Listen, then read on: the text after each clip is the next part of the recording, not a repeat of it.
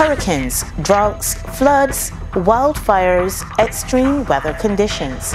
Climate change is wreaking havoc across the globe, and scientists say we have less than 12 years before the damage is beyond repair. Island nations and lower income countries will be among the most affected. So, what can we do?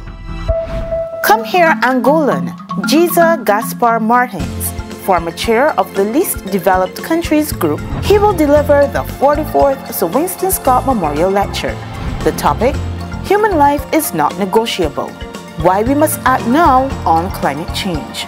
Join us in the Frank Collymore Hall, Tom Adams Financial Center on Monday, November 25th, 2019 at 8 p.m. See you there.